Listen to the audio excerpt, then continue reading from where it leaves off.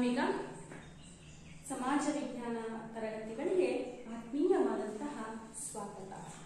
ವಿದ್ಯಾರ್ಥಿಗಳೇ, ಇವತ್ತಿನ ತರಗತಿಯಲ್ಲಿ ಹತ್ತನೇ ತರಗತಿಯ ಅರ್ಥಶಾಸ್ತ್ರ ವಿಭಾಗದ ಎರಡನೇ ಅಧ್ಯಾಯವಾದಂತಹ ಗ್ರಾಮೀಣ ಅಭಿವೃದ್ಧಿಯ ಬಗ್ಗೆ ನಾವು ಈ ಅಧ್ಯಾಯವನ್ನು ತಿಳಿತಾ ಇದ್ದೀವಿ.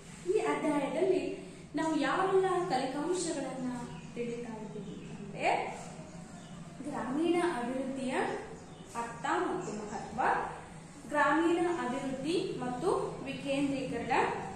ಗ್ರಾಮೀಣ ಅಭಿವೃದ್ಧಿಯಲ್ಲಿ ಪಂಚಾಯತ್ ರಾಜ್ ವ್ಯವಸ್ಥೆ, ಗ್ರಾಮೀಣ ಅಭಿವೃದ್ಧಿ ಮತ್ತು ಮಹಿಳೆ.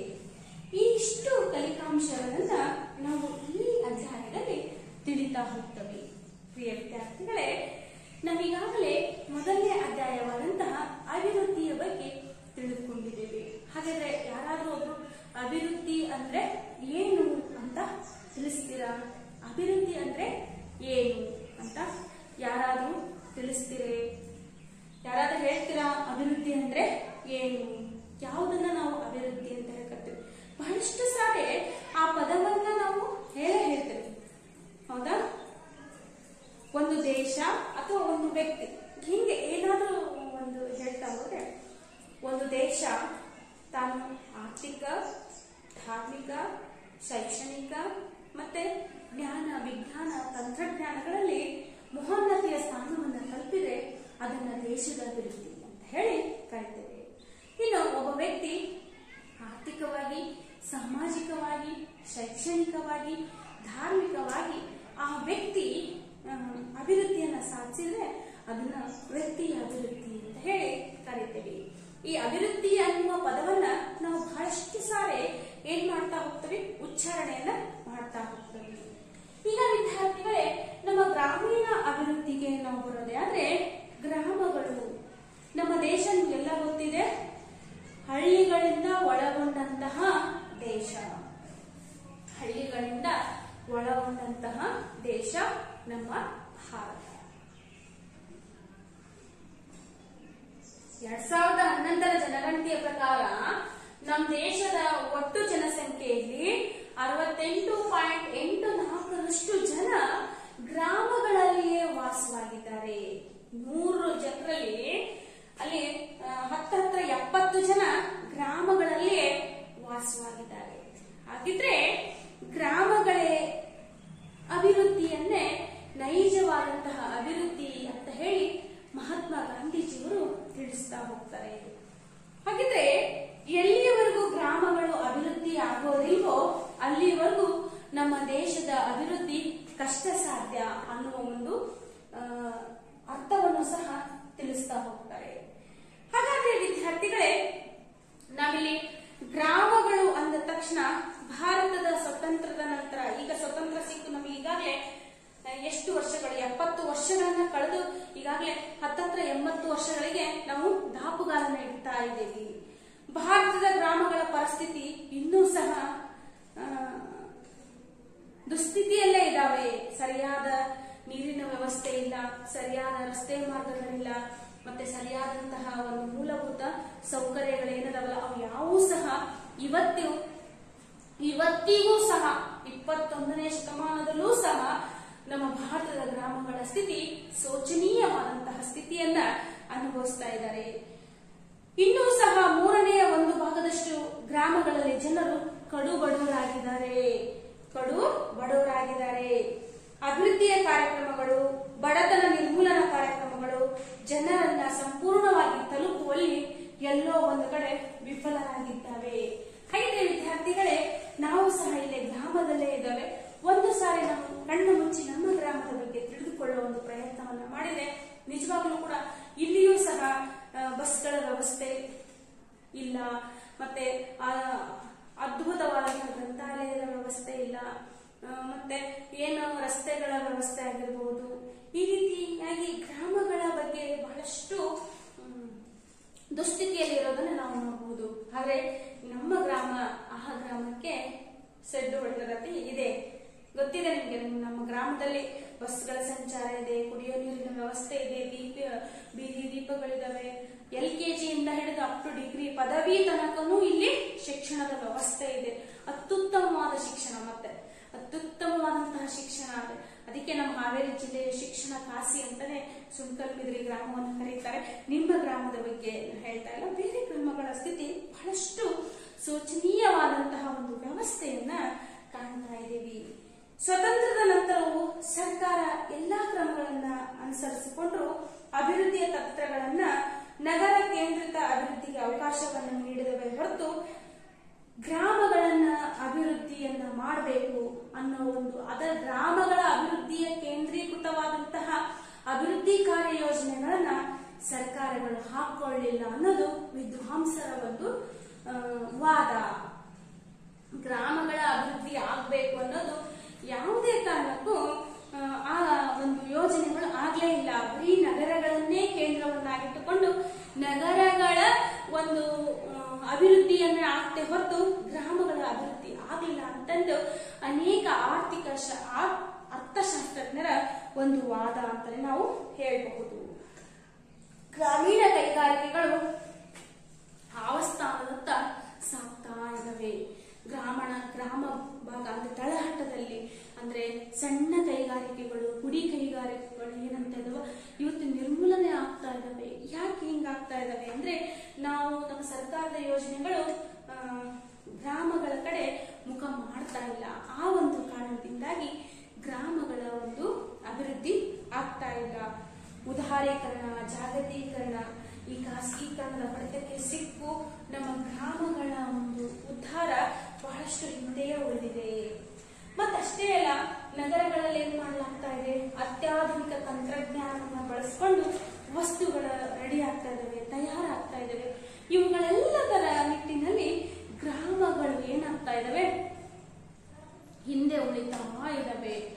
ಈ ನಿಟ್ಟಿನಲ್ಲಿ ಗ್ರಾಮಗಳ ಅಭಿವೃದ್ಧಿ ಕಷ್ಟ ಸಾಧ್ಯ ಆಗ್ತಾ ಇದೆ. ಹಾಗಾಗಿ ವಿದ್ಯಾರ್ಥಿಗಳೇ, ಗ್ರಾಮಗಳು ಸಹ ನಗರಗಳಂತೆ ಬೆಳಿಬೇಕು, ಅಭಿವೃದ್ಧಿ ಹೊಂದಬೇಕು ಅಂದ್ರೆ ಆ ಯೋಜನೆಗಳು ಗ್ರಾಮಗಳಲ್ಲಿ ಪರಿಪೂರ್ಣವಾಗಿ ಬಂದು ತಲುಪಬೇಕು ಅನ್ನೋದು ಎಲ್ಲರ ಆಶಯ ಅಂತ ಹೇಳ್ಬೋದು. ಇವತ್ತು ಗ್ರಾಮಗಳಲ್ಲಿ ನೋಡಿದ್ರೆ ಹೆಚ್ಚು ಜನ ಕೃಷಿಯ ಮೇಲೆ ಅವಲಂಬನೆಯನ್ನ ಮಾಡಿದ್ದಾರೆ. ಗ್ರಾಮೀಣ ಜನರಲ್ಲಿ ಇವತ್ತು ಬಡತನ ಹೆಚ್ಚಾಗಿದೆ. ಸುಮಾರು ಅರವತ್ತರಷ್ಟು ಜನರು ಪ್ರಾಥಮಿಕ ವಲಯದಲ್ಲಿ ದುಡಿತಾ ಇದ್ದಾರೆ. ನಿಮಗೆ ಗೊತ್ತು, ಆರ್ಥಿಕ ವ್ಯವಸ್ಥೆಯ ಮೂರು ವಲಯಗಳು ಯಾವ್ಯಾವು? ಮೊದಲನೇದಾಗಿ ಪ್ರಾಥಮಿಕ ವಲಯ, ಕೃಷಿ ಆಗಿರ್ಬೋದು ಮೀನುಗಾರಿಕೆ ಆಗಿರ್ಬೋದು, ಗಣಿಗಾರಿಕೆ ಆಗಿರ್ಬೋದು, ಈ ವಲಯವನ್ನ ನಾವು ಪ್ರಾಥಮಿಕ ವಲಯ ಅಂತ ಹೇಳ್ಕೊಂತೀವಿ, ದ್ವಿತೀಯ ವಲಯ ಅಂದ್ರೆ ಕೈಗಾರಿಕಾ ವಲಯ ಅಂತ ಹೇಳಿ ಕರಿತೀವಿ. ಮೂರನೇದು ತೃತೀಯ ವಲಯ, ಅದು ಸೇವಾ ವಲಯ. ಶಿಕ್ಷಣ ಆಗಿರ್ಬೋದು, ವಿಮೆ ಆಗಿರ್ಬೋದು, ಬ್ಯಾಂಕಿಂಗ್ ವ್ಯವಸ್ಥೆ ಆಗಿರ್ಬೋದು, ಏನೇನೆಲ್ಲ ಸೇವೆಗಳ ಸಾರಿಗೆ ಆಗಿರ್ಬೋದು, ಇವೆಲ್ಲವೂ ತೃತೀಯ ವಲಯ, ಯಾವುದು? ಸೇವಾ ವಲಯ. ಹಾಗಿದ್ರೆ ಈ ಪ್ರಥಮ ವಲಯ ಕೃಷಿಯ ಮೇಲೇನೆ ಗ್ರಾಮಗಳಲ್ಲಿ ಹೆಚ್ಚು ಜನ ಏನ್ ಮಾಡಲಾಗಿದೆ? ಅವಲಂಬನೆಯನ್ನ ಮಾಡಲಾಗಿದೆ. ಇವತ್ತು ಇಷ್ಟು ಶೇಕಡಾ ಅರವತ್ತರಷ್ಟು ಜನ ಕೃಷಿಯ ಮೇಲೇನೆ ಅವಲಂಬನೆ ಆಗಿದ್ರಿಂದ ನಮ್ಮ ದೇಶದ ಆದಾಯನೂ ಸಹ ಕಡಿಮೆ ಆಗ್ತಾ ಇದೆ. ದೇಶದ ಆದಾಯನೂ ಸಹ ಕಡಿಮೆ ಆಗ್ತಾ ಇದೆ.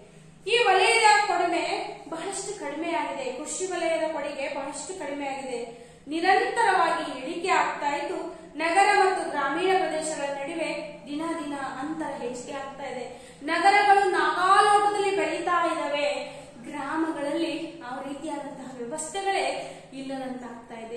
ಈ ಅಂತರಗಳು ಹೆಚ್ಚಿಗೆ ಆದಷ್ಟು ಆದಷ್ಟು ಆದಷ್ಟು ಗ್ರಾಮಗಳು ಮರೀಚಿಕೆ ಆಗಿನೇ ಯಾವುದೇ ಮೂಲಭೂತ ಸೌಕರ್ಯಗಳಿಲ್ಲದೆ ಹಿಂದುಳಿಬೇಕಾಗುತ್ತೆ. ಗ್ರಾಮೀಣ ಪ್ರದೇಶಗಳನ್ನ ಅಭಿವೃ- ಅಭಿವೃದ್ಧಿಪಡಿಸುವುದು ಅತ್ಯವಶ್ಯಕ ಮತ್ತು ಅವಶ್ಯಕ. ನಮ್ಮ ದೇಶ ಅಭಿವೃದ್ಧಿ ಹೊಂದಬೇಕು ನಮ್ಮ ದೇಶದ ರಾಷ್ಟ್ರೀಯ ಆದಾಯ ಹೆಚ್ಚಾಗಬೇಕು ಅಂದ್ರೆ ಮೊಟ್ಟ ಮೊದಲನಾಗಿ ನಮ್ಮ ಗ್ರಾಮಗಳು ಅಭಿವೃದ್ಧಿ ಆಗಬೇಕು. ಅದಕ್ಕೆ ಮಹಾತ್ಮ ಗಾಂಧೀಜಿಯವರ ಕನಸೆ ಗ್ರಾಮಗಳ ಅಭಿವೃದ್ಧಿ, ಗ್ರಾಮಗಳ ಸ್ವಚ್ಛತೆ. ಇವು ಮಹಾತ್ಮ ಗಾಂಧೀಜಿಯವರ ಕನಸಾಗಿತ್ತು. ಅದಕ್ಕೆ ಅವರು ಸ್ವಚ್ಛ ಗ್ರಾಮಗಳನ್ನ ನೈರ್ಮಲೀಕರಣ ಮಾಡಬೇಕು, ಸ್ವಚ್ಛತೆಯ ಬಗ್ಗೆ ಅರಿವನ್ನ ಹುಟ್ಟಿಸ್ಬೇಕು. ಗ್ರಾಮಗಳಲ್ಲಿ ಪ್ರತಿಯೊಂದು ಗ್ರಾಮನು ಸಹ ರಾಮ ರಾಜ ಆಗ್ಬೇಕು ಅನ್ನೋದು ಅವ್ರ ಕನಸಾಗಿತ್ತು, ಗಾಂಧೀಜಿಯವರ ಕನಸಾಗಿತ್ತು ಅಂತ ನಾವು ಹೇಳಬಹುದು. ಅದಕ್ಕೆ ಒಂದು ಸೆಂಟೆನ್ಸ್ ಅನ್ನು ಹೇಳ್ತಾರೆ. India is a very rich country but Indians are poor ಅಂತ ಒಂದು ಸೆಂಟೆನ್ಸ್ ಅನ್ನು ಹೇಳ್ತಾರೆ ಗಾಂಧೀಜಿಯವರು. ಭಾರತ ತುಂಬಾ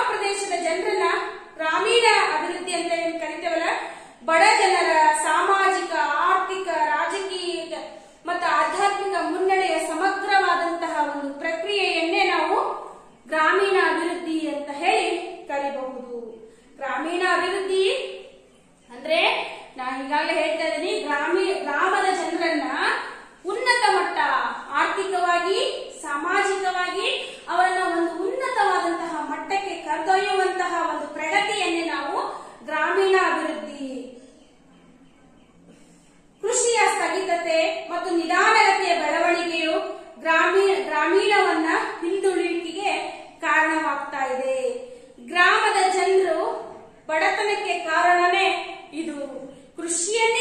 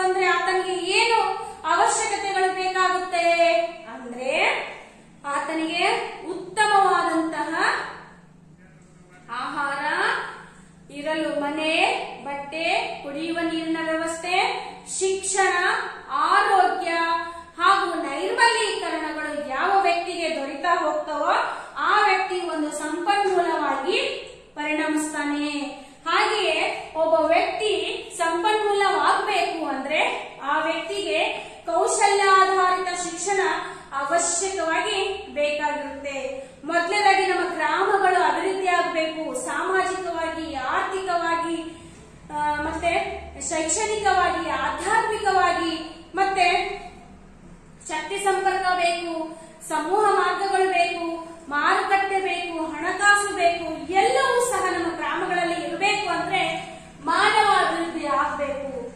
ಅಂದಾಗ ಮಾತ್ರ ಏನಾಗುತ್ತೆ? ಇವುಗಳ ಸಾಧನೆಯನ್ನ ಮಾಡೋದಿಕ್ಕೆ ಸಾಧ್ಯ ಆಗುತ್ತೆ. ಸಾಕ್ಷರತೆ, ಅದರಲ್ಲೂ ಮಹಿಳೆಯರ ಸಾಕ್ಷರತೆ, ಶಿಕ್ಷಣ ಹಾಗೂ ಕೌಶಲ್ಯ ಅಭಿವೃದ್ಧಿ ಗ್ರಾಮಗಳಲ್ಲಿ ಬೇಕು. ಸಾಕ್ಷರತೆ ಅಂದ್ರೆ ಕಲಿಯುವುದು. ಇವತ್ತು ಘನ ಸರ್ಕಾರ ನಿಮಗೆಲ್ಲ ಗೊತ್ತಿದೆ, ಒಂದರಿಂದ ಎಂಟನೇ ತರಗತಿಯ ವಿದ್ಯಾರ್ಥಿಗಳನ್ನ ಪ್ರಾಥಮಿಕ ಶಿಕ್ಷಣವನ್ನ ಏನ್ ಮಾಡಲಾಗಿದೆ? ಉಚಿತ ಹಾಗೂ ಕಡ್ಡಾಯಗೊಳಿಸಲಾಗಿದೆ ಉಚಿತ ಹಾಗೂ ಕಡ್ಡಾಯಗೊಳಿಸಲಾಗಿದೆ ಪ್ರಾಥಮಿಕ ಶಿಕ್ಷಣವನ್ನ ಉಚಿತ ಹಾಗೂ ಕಡ್ಡಾಯಗೊಳಿಸಲಾಗಿದೆ ಮತ್ತೆ ಆ ನಿಟ್ಟಿನಲ್ಲಿ ಎಲ್ಲರೂ ಕೂಡ ಅಕ್ಷರಸ್ಥರಾಗಬೇಕು ಅನ್ನೋದು ಅದರ ಮುಖ್ಯ ಉದ್ದೇಶ ಎಲ್ಲರೂ ಸಹ ಅಕ್ಷರಸ್ಥರಾಗಬೇಕು ಅನ್ನೋದು ಸರ್ಕಾರದ ಮುಖ್ಯ ಉದ್ದೇಶ ಅದರಲ್ಲೂ ಕೂಡ ಮಹಿಳೆಯ ಸಾಕ್ಷರತೆ ಬಹಳಷ್ಟು ಮುಖ್ಯ ಅದಕ್ಕೆ ಸರ್ಕಾರ ಯೋಜನೆ ಹೇಳುತ್ತೆ ಹೆಣ್ಣೊಂದು ಕಲಿತರೆ ಶಾಲೆಯೊಂದನ್ನ ತೆರದಂತೆ ಹೆಣ್ಣೊಂದು ಕಲಿತರೆ ಶಾಲೆಯನ್ನ ಕರೆದಂತೆ ತೆರದಂತೆ ನೋಡಿ ಒಂದ್ ಹೆಣ್ಮಗಳು ಮನೆಗೆ ಓದಿದ್ದು ಅಂದ್ರೆ ಆಕೆಗೆ ಶಿಕ್ಷಣದ ಬಗ್ಗೆ ಅದರ ಮಹತ್ವದ ಬಗ್ಗೆ ಅರಿವಿರ್ತದೆ ಆಕೆ ಏನ್ ಮಾಡ್ತಾಳೆ ಮನೆಯಲ್ಲಿರುವವರೆಲ್ಲರನ್ನ ಓದೋದಿಕ್ಕೆ ನೀಡ್ತಾಳೆ ಮತ್ತೆ ಯಾವುದು ಸರಿ, ಯಾವುದು ತಪ್ಪು ಅನ್ನೋದ್ರ ಬಗ್ಗೆ ಏನ್ ಮಾಡ್ತಾಳೆ? ಆಕೆ ವಿಶೇಷವಾದಂತಹ ಒಂದು ಚರ್ಚೆಗಳನ್ನ ಮಾಡ್ತಾ ಹೋಗ್ತಾಳೆ. ಈ ರೀತಿಯಾಗಿ ಹೆಣ್ಣೊಂದು ಕಲಿತರೆ ಶಾಲೆಯನ್ನೇ ತೆರೆದಂತೆ ಅಂತ ನಾವು ಹೇಳಬಹುದು. ಅದಕ್ಕೆ ನಮ್ಮ ತರಳವಾಳು ಜಗದ್ಗುರುಗಳು, ಹಿಂದಿನ ಶಿವಕುಮಾರ ಶಿವಾಚಾರ್ಯ ಸ್ವಾಮಿಗಳು ಹಿಂಗೆ ಬಹಳಷ್ಟು ಇಂಡಿಯರ ಅಂದ್ರೆ ಬಹಳಷ್ಟು ಹಳ್ಳಿಗಳಲ್ಲಿ, ಗ್ರಾಮಗಳಲ್ಲಿ ಪ್ರೌಢಶಾಲೆಗಳನ್ನ ಆರಂಭಿಸೋದ್ರ ಮೂಲಕ ಹೆಣ್ಣು ಮಕ್ಕಳ ಶಿಕ್ಷಣಕ್ಕೆ ಅಂದಿನ ಕಾಲದಲ್ಲಿಯೇ ಸಾವಿರದ ಒಂಬೈನೂರ ಐವತ್ತರಲ್ಲಿಯೇ ಅಂದಿನ ಕಾಲದಲ್ಲಿ ಅವಕಾಶಗಳನ್ನ ಕಲ್ಪಿಸಿಕೊಟ್ರು. ಹಾಗಾಗಿ ನಿಮ್ಮೂರಲ್ಲೂ ಸಹ ಒಂದು ಪ್ರೌಢಶಾಲೆ ಜೂನಿಯರ್ ಕಾಲೇಜು ಸ್ಥಾಪನೆ ಆಯಿತು. ಬೇರೆ ಬೇರೆ ಸಿಟಿ ಹೋಗೋದು ಬೇಡ ಹೆಣ್ಮಕ್ಳು. ಇಲ್ಲಿಯೇ ತಮ್ಮ ವಿದ್ಯಾಭ್ಯಾಸವನ್ನು, ಕನಿಷ್ಠ ಹತ್ತನೇ ತರಗತಿಯವರೆಗೂ ವಿದ್ಯಾಭ್ಯಾಸವನ್ನು ಮುಗಿಸ್ಲಿ ಅನ್ನೋ ಕನಸನ್ನ ನನಸು ಮಾಡಲಾಯಿತು ಅಲ್ವಾ ವಿದ್ಯಾರ್ಥಿಗಳೇ? ನಿಜವಾಗ್ಲೂ ಗುರುಗಳ ಒಂದು ಪಾದಗಳಿಗೆ ನಾವು ನಮಸ್ಕರಿಸುತ್ತಾ ಮತ್ತೆ ಮುಂದೆ ಹೋಗ್ತಾ ಹೋಗೋಣ. ನೈರ್ಮಲ್ಯ ಮತ್ತು ಸಾರ್ವಜನಿಕ ಆರೋಗ್ಯದ ಸುಧಾರಣೆಗಳು. ನೈರ್ಮಲ್ಯ. ನೈರ್ಮಲ್ಯ ನಿಮಗೆಲ್ಲ ಗೊತ್ತಿದೆ. ಸ್ವಚ್ಛತೆಯ ಬಗ್ಗೆ. ಸ್ವಚ್ಛತೆಯ ಬಗ್ಗೆ. ಸಾರ್ವಜನಿಕವಾದ ಆರೋಗ್ಯದ ಸುಧಾರಣೆಗಳು. ಸಾರ್ವಜನಿಕ ಆರೋಗ್ಯದ ಸುಧಾರಣೆಗಳನ್ನ ಮಾಡಬೇಕು. ಈಗ ನೈರ್ಮಲ್ಯಕರಣ. ಈಗ ಎಲ್ಲಿ ಶುಚಿತ್ವ ಇರುತ್ತೋ ಅಲ್ಲಿ ಆರೋಗ್ಯ ಇರುತ್ತೆ. ಈ ಗ್ರಾಮಗಳಲ್ಲಿ ಶುಚಿತ್ವದ ಬಗ್ಗೆ ಇತ್ತೀಚಿನ ದಿನಗಳಲ್ಲಿ ಬಹಳಷ್ಟು ಅರಿವುಗಳು ಉಂಟಾಗ್ತಾ ಇದ್ದಾವೆ. ಮೊದಲಿನ ದಿನಗಳಲ್ಲಿ ಬಹಳಷ್ಟು ಕಡಿಮೆ ಇತ್ತು. ಒಳಚರಂಡಿ ವ್ಯವಸ್ಥೆ ಆಗಿರ್ಬೋದು, ಶುದ್ಧ ಕುಡಿಯುವ ನೀರಿನ ವ್ಯವಸ್ಥೆ ಆಗಿರ್ಬೋದು, ಇವೆಲ್ಲವೂ ಕೂಡ ಗ್ರಾಮಗಳಲ್ಲಿ ಮರೀಚಿಕೆ ಆಗಿದ್ವು ಆದ್ರೆ ಗ್ರಾಮಗಳು ನಿಧಾನಗತಿಯಲ್ಲಿ ಅಭಿವೃದ್ಧಿ ಆಗ್ತಾ ಇದ್ದಾವೆ. ಸೊ ಹಂಗಾಗಿ ಇವತ್ತು ನೈರ್ಮಲೀಕರಣದ ಬಗ್ಗೆ ಜನನು ಸಹ ತಿಳ್ಕೊಂತ ಇದ್ದಾರೆ. ಆರೋಗ್ಯದ ಸುಧಾರಣೆಗೋಸ್ಕರ ಪ್ರತಿ ಗ್ರಾಮದಲ್ಲೂ ಕೂಡ ಪ್ರಾಥಮಿಕ ಆರೋಗ್ಯ ಕೇಂದ್ರಗಳನ್ನ ಪಿ ಹೆಚ್ ಅಂತ ಹೇಳಿ ಕರಿತೇವೆ ಪ್ರಾಥಮಿಕ ಆರೋಗ್ಯ ಪ್ರೈಮರಿ ಹೆಲ್ತ್ ಸೆಂಟರ್ ಆ ಒಂದು ಪ್ರಾಥಮಿಕ ಆರೋಗ್ಯ ಕೇಂದ್ರಗಳನ್ನ ತೆಗೆಯೋದ್ರ ಮೂಲಕ ಪ್ರ- ಪ್ರಾಥಮಿಕ ಹಂತದಲ್ಲೇ ಅವರಿಗೆ ಏನ್ ಸಿಗ್ಬೇಕು? ಆರೋಗ್ಯ ಸಿಗುವಂತೆ ಇರಬೇಕು. ಭೂ ಸುಧಾರಣೆಗಳು ಆಗಬೇಕು. ನಂತರ ಸ್ಥಳೀಯ ಉತ್ಪಾದಕ ಸಂಪನ್ಮೂಲಗಳ ಅಭಿವೃದ್ಧಿ ಸಿಗಬೇಕು. ಅಂದ್ರೆ ಸ್ಥಳೀಯ ಉತ್ಪಾದಕ ಸಂಪನ್ಮೂಲಗಳ ಅಭಿವೃದ್ಧಿ. ಸ್ಥಳೀಯವಾಗಿ ಅವರಿಗೆ ಉತ್ಪಾದಕರ ಸಂಪನ್ಮೂಲ ಅಭಿವೃದ್ಧಿ. ಆದರೆ ಮಾತ್ರ ಗ್ರಾಮಗಳು ಅಭಿವೃದ್ಧಿ ಆಗೋದಕ್ಕೆ ಸಾಧ್ಯ ಆಗ್ತವೆ. ಹಾಗೆ ವಿದ್ಯುತ್ ಶಕ್ತಿ, ನೀರಾವರಿ, ಹಣಕಾಸು, ಮಾರುಕಟ್ಟೆ, ಸಾರಿಗೆ. ನೀರಾವರಿ, ಹಣಕಾಸು, ಮಾರುಕಟ್ಟೆ, ಸಾರಿಗೆ ವಿದ್ಯುತ್ ಶಕ್ತಿ ಇವೆಲ್ಲ ಮೂಲಭೂತ ಸೌಕರ್ಯಗಳನ್ನ ನಾವು ನೀಡೋದ್ರ ಮೂಲಕ ಏನಾಗುತ್ತೆ? ಗ್ರಾಮಗಳ ಅಭಿವೃದ್ಧಿ ಆಗುತ್ತೆ. ಕೃಷಿಗಳ ಮೇಲೆ ಹೆಚ್ಚಾಗಿ ಗ್ರಾಮದ ಜನತೆ ಏನಾಗಿದೆ ಇವತ್ತು? ಅವಲಂಬಿತರಾಗಿದ್ದಾರೆ. ಹಾಗಾಗಿ ಕೃಷಿ ಮೇಲಿನ ಜನರು ಅವಲಂಬಿತರಾಗಿದ್ದರಿಂದ ಗ್ರಾಮಗಳ ಅಭಿವೃದ್ಧಿ ಆಗ್ಬೇಕಂದ್ರೆ ಕೃಷಿ ಅಭಿವೃದ್ಧಿ ಆಗ್ಬೇಕು. ಕೃಷಿ ಅಭಿವೃದ್ಧಿ ಆಯ್ತಪ್ಪ ಅಂದ್ರೆ ಗ್ರಾಮಗಳ ಅಭಿವೃದ್ಧಿಯೂ ಸಹ ಆಗ್ತಾ ಹೋಗುತ್ತೆ. ಹಾಗೆಯೇ ಗ್ರಾಮಗಳಲ್ಲಿ ನೈರ್ಮಲೀಕರಣವನ್ನ ಹೆಚ್ಚಿಸಬೇಕು. ಗ್ರಾಮಗಳ ಜನರಿಗೆ ಆರೋಗ್ಯವನ್ನ ಒದಗಿಸಬೇಕು. ಗ್ರಾಮದ ಜನರಿಗೆ ಶಿಕ್ಷಣವನ್ನ, ಕೌಶಲ್ಯಾಧಾರಿತ ಶಿಕ್ಷಣವನ್ನ ನೀಡಬೇಕು. ಗ್ರಾಮದ ಜನರಿಗೆ ಸಾರಿಗೆ, ಹಣಕಾಸು, ವಿದ್ಯುತ್ ಶಕ್ತಿ ಇವುಗಳೆಲ್ಲ ಮೂಲಭೂತ ಸೌಕರ್ಯಗಳನ್ನು ಕೊಟ್ಟಾಗ ಮಾತ್ರ ನಮಗೆ ಗ್ರಾಮೀಣ ಅಭಿವೃದ್ಧಿ ಸಾಧನೆಯನ್ನ ಮಾಡೋದಕ್ಕೆ ಸಾಧ್ಯ ಆಗುತ್ತೆ. ಹಾಗಿದ್ರೆ ಇಲ್ಲಿ ಪ್ರಶ್ನೆಯನ್ನ ಕೇಳಬಹುದು ಗ್ರಾಮೀಣ ಅಭಿವೃದ್ಧಿಗೆ ಅವಶ್ಯಕ ಕ್ರಮಗಳನ್ನು ಬರೆಯಿರಿ ಅಂತ ಕೇಳ್ಬೋದು. ಈ ಅವಶ್ಯಕ ಕ್ರಮಗಳನ್ನು ನೀವು ಬರೀಬೇಕು. ನಂತರ ಬರುವಂತದ್ದು ಗ್ರಾಮೀಣ ಅಭಿವೃದ್ಧಿಯ ಮಹತ್ವ.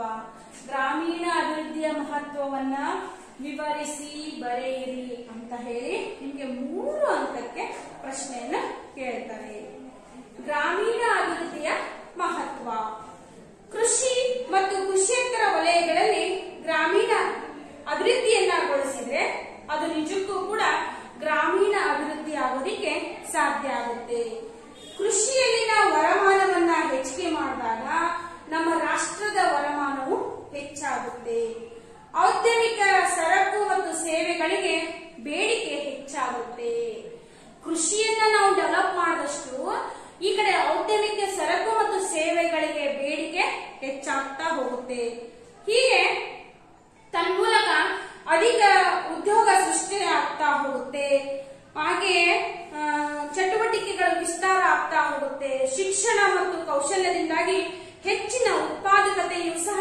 ಸಾಧಿಸಬಹುದು ಆರೋಗ್ಯದಿಂದ ಜನರ ಕೆಲಸವನ್ನ ಸಹಭಾಗಿತ್ವದ ಪ್ರಮಾಣ ಹೆಚ್ಚಾಗಿ ರಾಷ್ಟ್ರೀಯ ಉತ್ಪನ್ನವು ಕೂಡ ಹೆಚ್ಚಾಗ್ತಾ ಹೋಗುತ್ತೆ ಕೃಷಿ ಸಂರಕ್ಷಣೆ ಸಣ್ಣ ಕೈಗಾರಿಕಾ ಅಭಿವೃದ್ಧಿ ಹೊಂದಿ ಒಟ್ಟಾರೆಯಾಗಿ ಗ್ರಾಮೀಣ ಪರಿವರ್ತನೆಗೆ ನಾಂದಿಯಾಗ್ತಾ ಹೋಗುತ್ತದೆ. ಇವೆಲ್ಲವೂ ಬಡತನದ ಇಳಿಕೆಗೆ ಕಾರಣೀಭೂತವಾಗುತ್ತದೆ. ಇವತ್ತು ಗ್ರಾಮಗಳ ಅಭಿವೃದ್ಧಿ ಮಹತ್ವವನ್ನು ಪಡಿಬೇಕಪ್ಪ ಅಂದ್ರೆ ಇವತ್ತು ಗ್ರಾಮಗಳಲ್ಲಿ ಬಡತನ ಕಡಿಮೆ ಆಗ್ತಾ ಹೋಗ್ಬೇಕು ಅಂದ್ರೆ ಮುಖ್ಯವಾಗಿ ಶಿಕ್ಷಣ, ಕೌಶಲ್ಯಗಳು ಮತ್ತೆ ಆರೋಗ್ಯ ಜನರನ್ನ ಹೋಗಿ ತಲುಪುವಂತಾಗಬೇಕು. ಇಲ್ಲ ಅಂದ್ರೆ ಗ್ರಾಮಗಳ ಅಭಿವೃದ್ಧಿ ಕಷ್ಟ ಸಾಧ್ಯ ಅಂತ ನಾವು ಹೇಳಬಹುದು. ಇನ್ನು ನಂತರ ಆಗುವಂತಹದು ವಿಕೇಂದ್ರೀಕರಣ ಅಂತ ಹೇಳಿ ನಾವು ಕರಿತೇವೆ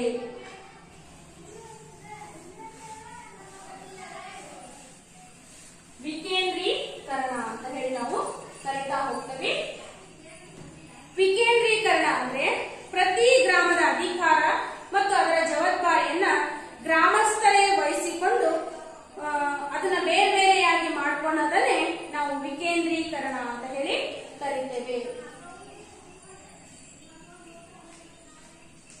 ವಿಕೇಂದ್ರೀಕರಣ ಗ್ರಾಮದಲ್ಲಿನ ಒಂದು ಅಭಿವೃದ್ಧಿ ಜವಾಬ್ದಾರಿಯನ್ನ ಗ್ರಾಮಗಳ ಅಭಿವೃದ್ಧಿ ಗ್ರಾಮಗಳ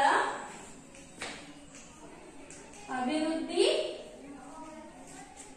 ಜವಾಬ್ದಾರಿಯನ್ನ